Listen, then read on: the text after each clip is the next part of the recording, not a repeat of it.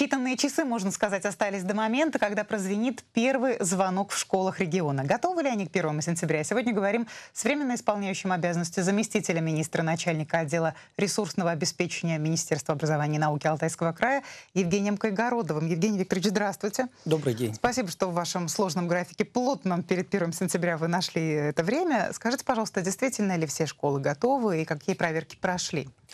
А, прежде всего хотелось бы сказать, что ну, приемочная комиссия – это не те три недели, когда э, комиссия непосредственно выходит в образовательные организации. У нас это было с 31 июля до 16 августа. Подготовка образовательных организаций к началу следующего учебного года активно начинается с апреля-мая месяца, а в общем-то длится в течение всего года.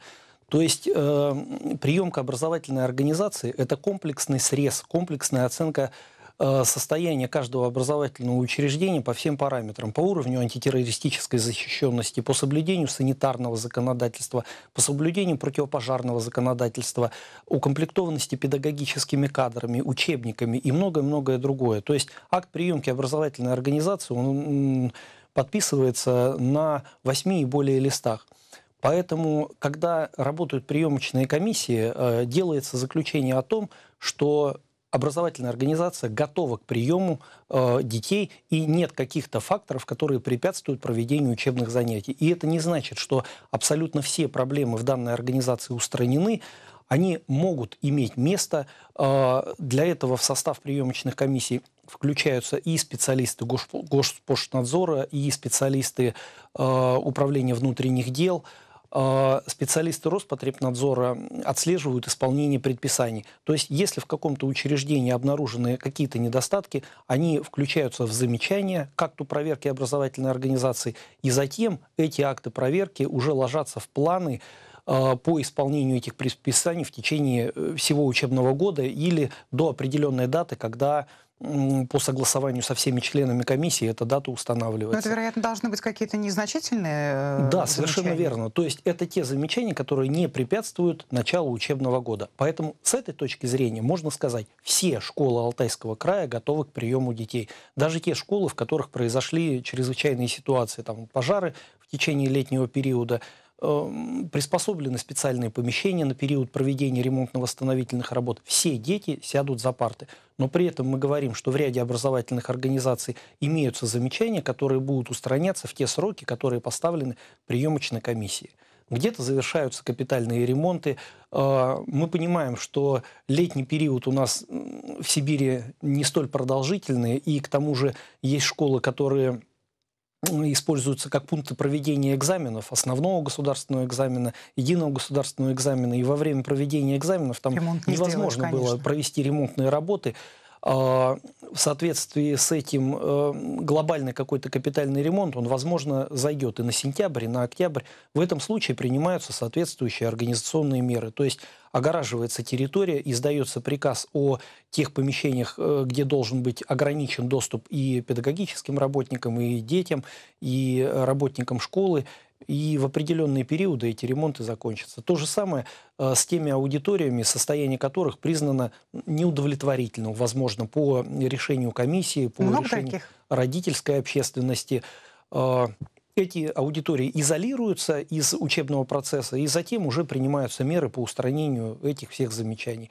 То есть в отдельных школах, конечно, такие проблемы есть, но как вы сказали, считанные дни остаются, но они есть, и в школах всячески стараются устранить эти замечания. Евгений Викторович, Новозыряновская школа Заринского района, мы показывали сюжет об этом, к нам обратились э, жители, учителя, родители, которые считают, что школу открыли с нарушениями, что там невозможно заниматься. Это мнение учителей и родителей, даже родителей, так скажем. Вот на ваш взгляд, действительно ли эта школа э, пригодна и какая там ситуация? Эту школу я посещал лично э, все условия для занятия детьми там созданы. Школа, э, школа допущена к организации учебного процесса. Действительно, там есть проблемы в переходе э, из основного здания в спортивный зал, и есть проблемы с отслоением кирпичной кладки. Эти аудитории, эти помещения выведены из учебного процесса, издано соответствующее распоряжение э, Комитета по образованию Заринского района, директором проведена изоляция этих помещений, и на период проведения устранения вот этих вот недостатков эти помещения в учебном процессе не будут задействованы. На днях было подписано постановление правительства Алтайского края. На ремонт этой школы выделено более 4,5 миллионов рублей Заринскому району. Надеемся, что в кратчайшие сроки все проблемы будут устранены. То есть вот эти объекты... А занятия физкультуры где в ближайшее время будут эти, эти объекты, они и появляются в процессе приемочной кампании. То есть, э, возможно, на взгляд э, руководителя какое-то помещение не составляло проблемы, а вот э, комиссионно все-таки приняли решение, что здесь требуется замена линолеума, здесь требуется ремонт, и в связи с этим приходится оперативно устранять это, эти проблемы. Сейчас, пока погода позволяет, э, занятия будут проводиться на улице, на открытом воздухе, ну и в других приспособленных помещениях школы, поскольку в школе занимается небольшое количество учащихся. Сам спортзал позволяет проводить занятия, то есть там проблемы только с переходом в, в спортивный зал из основного здания школы. Традиционно к 1 сентября открывают новые школы в этом году. Будут ли такие подарки в регионе? Сегодня, э, в этом году мы ожидаем открытия новой школы в городе Барнауле в квартале 2008. Это будет школа на 550 мест, э, которая строится по типовому проекту. По этому проекту уже сданы школы в 2016-2017 году, и третья очередная школа будет в 2018 году. Также завершается строительство пристроя к Егорьевской средней общеобразовательной школы в селе Новоегорьевское Егорьевского района на 312 мест. То есть, по сути дела, эта пристройка станет основным зданием школы, куда дети зайдут, мы надеемся, со второй четверти э, нового учебного года.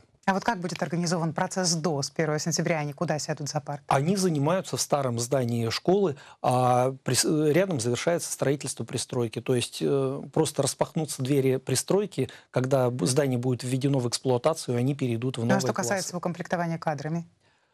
А, мы говорим, наверное, про школу города Барнаула, поскольку в Ельцовской школе кадры остаются те же самые, там просто создаются современные условия обучения для детей, а педагоги все переходят.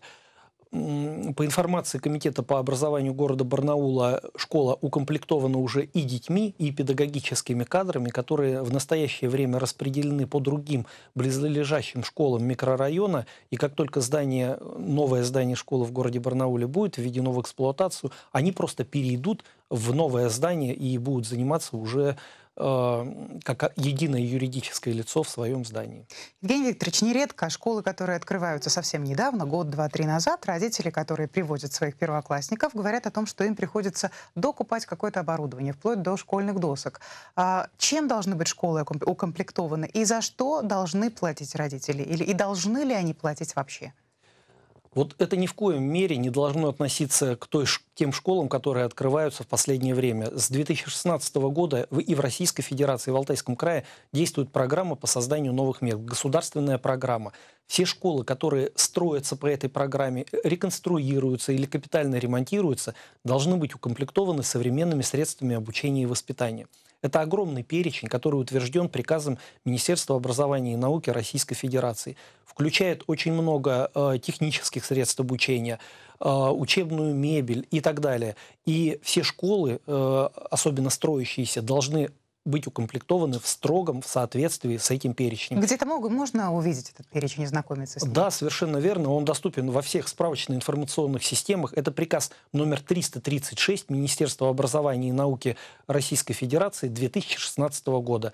А, насколько не изменяет память, 30 марта 2016 года. Все родители могут посмотреть, э, чем должна быть укомплектована и будет укомплектована новая школа. И в случае чего вопросы кому задавать? Руководству школы или все-таки в управлении? Руководству школы и учредителю. А учредителем муниципальных школ является Комитет по образованию города Барнаула. Я благодарю вас и за время, и за беседу. Поздравляю вас с началом нового учебного года. Спасибо. Это была программа «Время». Наше время. Мы говорили сегодня о том, как готовы школы региона к 1 сентября с временно исполняющим обязанности заместителя министра начальника отдела ресурсного обеспечения Министерства образования и науки Алтайского края Евгением Кайгородовым. Всего доброго и с наступающим Днем знаний.